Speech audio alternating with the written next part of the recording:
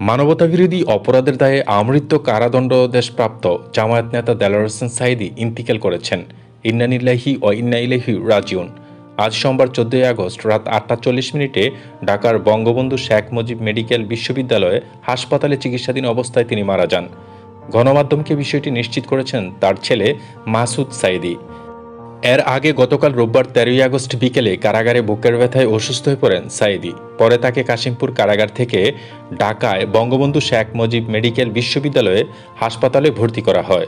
রোববার কাশিমপুর কারা কর্তৃপক্ষ সূত্রে জানা যায়, দীর্ঘদিন ধরেই আমৃত্য দণ্ডাদেশপ্রাপ্ত জামায়াত নেতা দেলার হোসেন সাইদি গাজীপুরের কাশিমপুর কেন্দ্রীয় কারাগারের পার্ট ওয়ানে বন্দী আছেন। সেখানে থাকা অবস্থায় রোববার বিকেলে পাঁচটার দিকে তিনি বুকের ব্যথায় অসুস্থ হয়ে পড়েন। পরে তাকে কারা কর্তৃপক্ষ, কারা অ্যাম্বুলেন্স দিয়ে গাজীপুর শহীদ তাজউদ্দিন আহমেদ মেডিকেল কলেজে হাসপাতালে নিয়ে যায়। সেখানে তার অবস্থার অবনতি হলে ঢাকার বিসিএস এম এ ইউ হাসপাতালে পাঠানো হয়।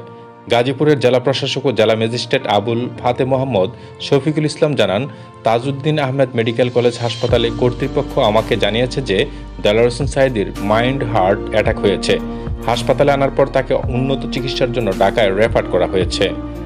মুক্তিযুদ্ধকালে মানবতা বিরোধী অপরাধের দায়ে দুই হাজার আঠারো সালের সতেরোই ফেব্রুয়ারি দেলার হোসেন সাইদিকে আমৃত কারাদণ্ডের আদেশ দেন আপিল বিভাগ। দুই হাজার দশ সালের উনত্রিশে জুন তিনি গ্রেপ্তার হন ধর্মীয় অনুভূতিতে আঘাত দেওয়ার অভিযোগে। পরে ওই বছরের দুই আগস্ট মানবতা বিরোধী অপরাধের মামলায় তাকে গ্রেপ্তার দেখানো হয়েছে। দর্শক, মৃত্যুর সময় পৃথিবী জুড়ে রেখে গেছেন অসংখ্য গুণগ্রাহী এবং ভালোবাসার মানুষ। দেলোর হোসেন সাইদিকে নিয়ে আপনার মন্তব্য অবশ্যই জানাবেন। ধন্যবাদ।